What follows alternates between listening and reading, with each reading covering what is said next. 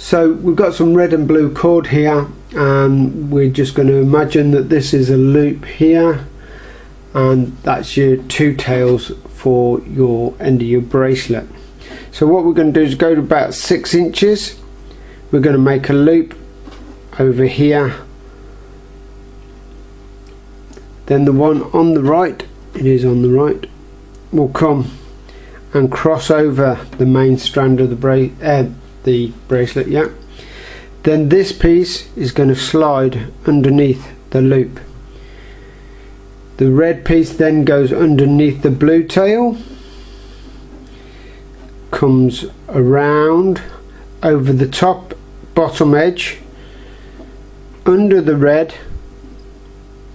sorry try to show you that clearly under the red and then back over the outside of the blue and pulls a little bit taut. Pull them both there. They should pull together. And then show you the shape of the knot. As you can see now between the blue and the red in the center you've got a diamond. Now that would be called a diamond knot normally but we're going to turn this into a stopper knot. So we're going to make it a little bit sort of like rounded on the top. Tighten that up a bit. We're going to keep the diamond in the middle so we know where we're aiming. But now you're going to use the two main parts of the bracelet a bit like the trunk of a tree so they're going together. And then you've got the tails like they were branches for instance.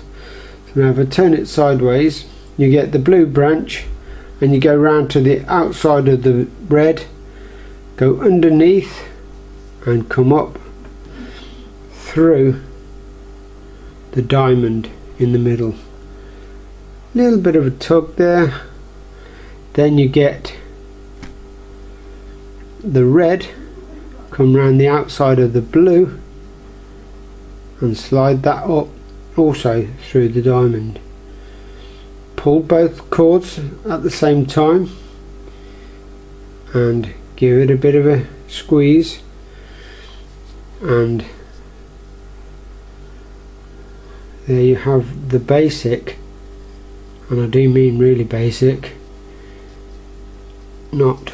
So you just squeeze and pull cords and it gets tighter. Pull either end tighter tighter.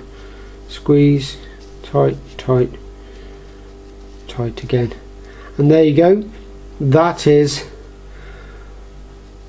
your stopper knot some people call it the Turk's head.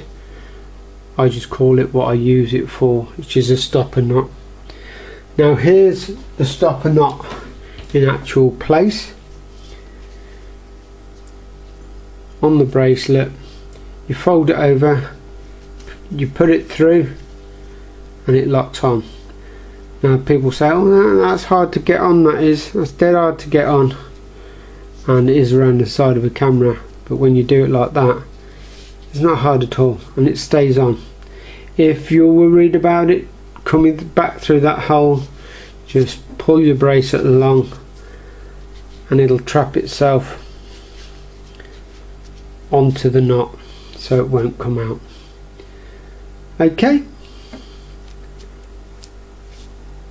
So just rewind, pause, rewind, pause, watch what I did.